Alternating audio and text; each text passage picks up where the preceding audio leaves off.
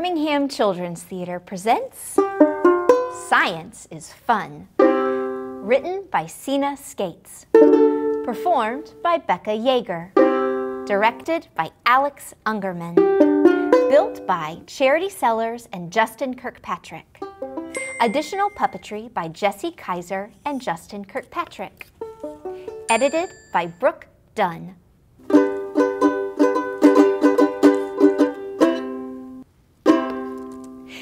Science is fun. It isn't. It is. It isn't. It is. It isn't. It is. Prove it. With pleasure. But you realize that's science, right? What's science? Proving things. That is what science is all about. Um, wait a minute. Do you not know what science is? I know I don't like it. what if you never had ice cream? How would you know whether or not you liked it?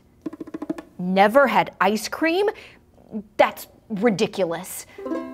That's my point. It is? Yes. Let me tell you what science is, and then, then you can decide whether or not you like it. Um, come on. You asked me to prove that science is fun, and I can prove it. Let me prove it. Well, come on. This is going to be so much fun. Okay.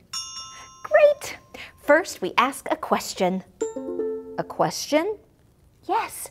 Science seeks to answer a question or solve a problem using the scientific method. The scientific method? it is terrific, but it's called the scientific method. It's what scientists use to answer a question. Come out into my garden with me and let's see.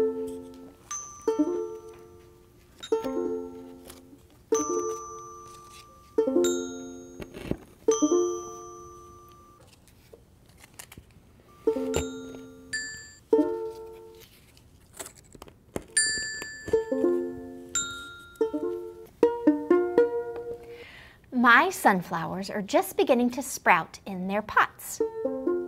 Well, what does that have to do with science? The scientific method starts with a question. How much water do my sunflowers need to grow? Why does that matter? Because too little water and they won't grow at all. It's kind of like when you are in bed and it's time for lights out and you realize you're hungry. Does that ever happen to you? It does. My mom does not like it at all. Exactly. Too little water and no one's happy. All right, so give them enough water.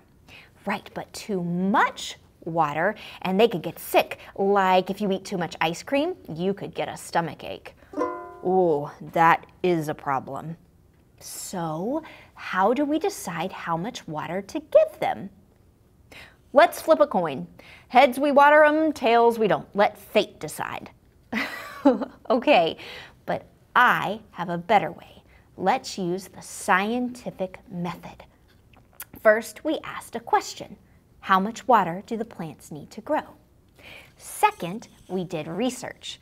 Too much water and the plants won't grow. Too little water and the plants won't grow. Does that make sense? Oddly enough, it does. So what's step three? Step three is a hypothesis. A hippo what is? A hypothesis. It's like an idea or a guess about something. For these plants, my hypothesis is that it would, they would like to be watered once a day. Okay, a hypothesis, watered once a day. Sounds good. It sounds good, but how do we know for sure? I don't know. we use step four. We design an experiment to test our hypothesis. Really? Yes. Let's split the plants into three groups. One group will water too much. One group will water too little, and one group will water just right. And we shall call it the Goldilocks experiment. nice. So once a day is probably just right. How about too much?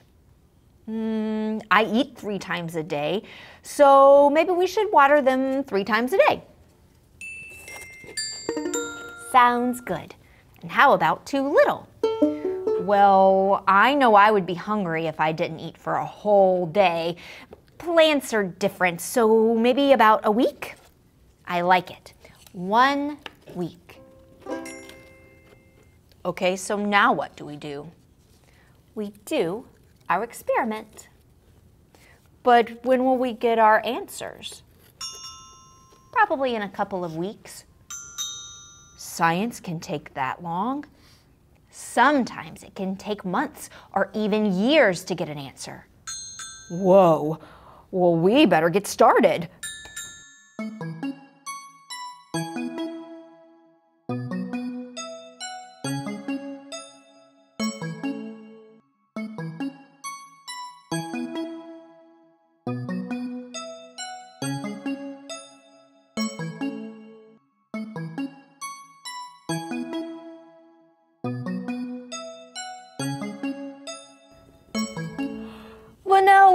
It's Goldilocks. We did it.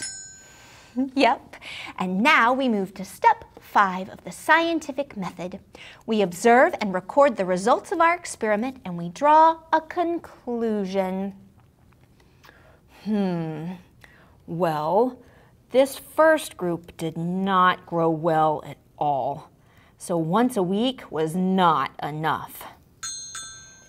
This group looks really soggy and obviously didn't bloom, so three times a day is too much. This group did the best. Look at those beautiful yellow blooms. They're so pretty. I love sunflowers. Once a day was just right. Fantastic. And now we're ready for step six. There's more?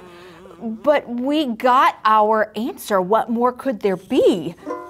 We go back to our guess, our hypothesis, and we see if we were right. Whoa, now that's cool. That's science.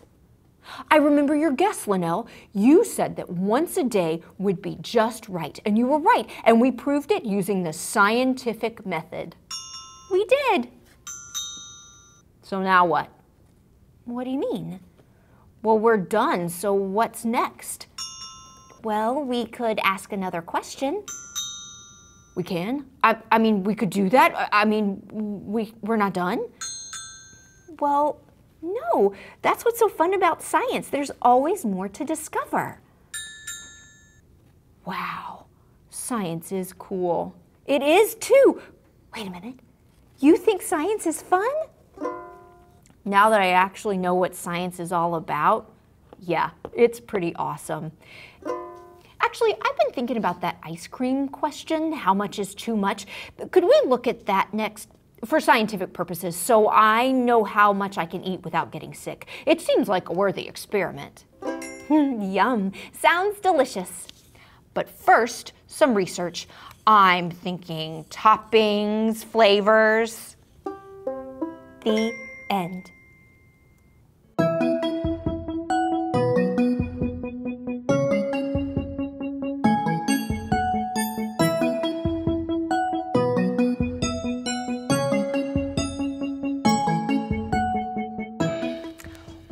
Group we'll water one.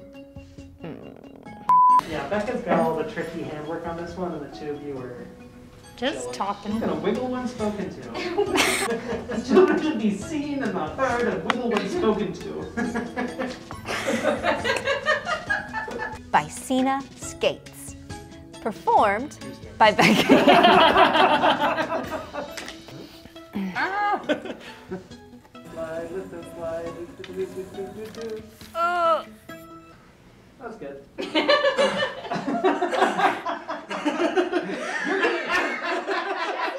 Jessie has changed his answer. You're gonna need some longer stuff.